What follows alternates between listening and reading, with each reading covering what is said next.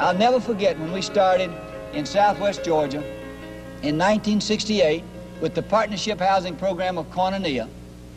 We began to say we were going to eliminate poverty housing, and people said, where are you going to get the money? And we said, we're going to get it from the Lord. They said, no, we mean really where are you going to get the money? And we said, we really are going to get it from the Lord.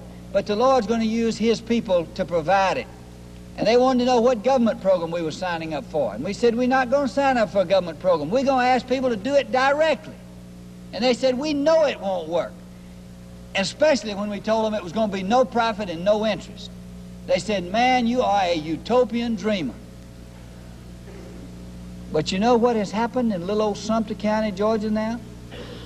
The original partnership housing program of Koinonia that started building houses in 1968 has never stopped. Over 200 houses have now been completed just in that one county. We're building a house every two weeks. Every two weeks, another house is complete, and there's nobody laughing anymore about this is a utopian dream. Because within about 10 years, we will virtually have eliminated poverty housing from our county. With God, all things are possible. If you can eliminate poverty housing from Sumter County, Georgia, you ought to be able to do it just about anywhere.